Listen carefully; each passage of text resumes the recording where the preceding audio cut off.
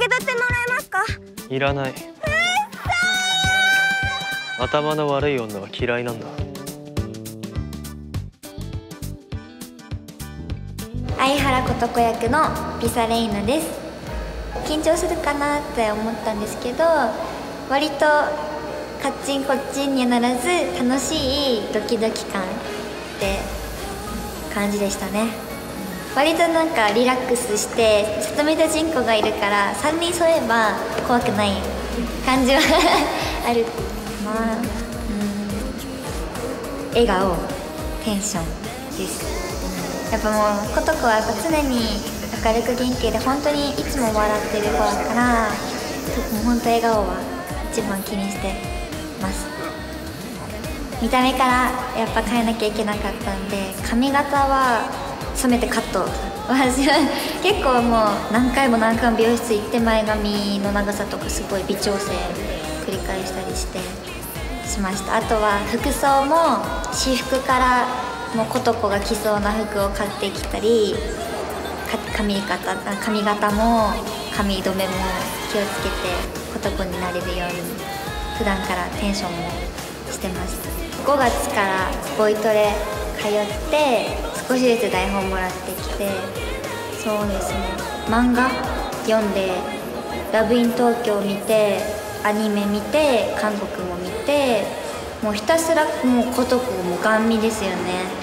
もうひたすらあこういう時こういう表情なんだなとかこういう時こういう動きするんだなっていうのはすごい今も撮影現場でもあの朝はいつも漫画とこう台本をすり合わせながらやってるんですけどはい。してますちゃんと。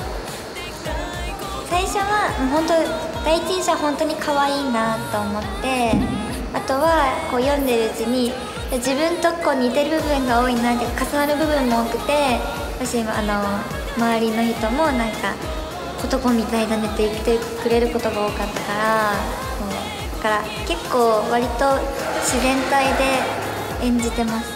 すごい不思議な感じがします。もう芸能を始める始めたのも1819歳の頃だったからほんと最近までは普通に天神とか行って遊んでたくらいだからこうやって仕事で地元に帰ってこう主演っていう形でいるのはもうなんだろうな本当不思議な感覚ですね。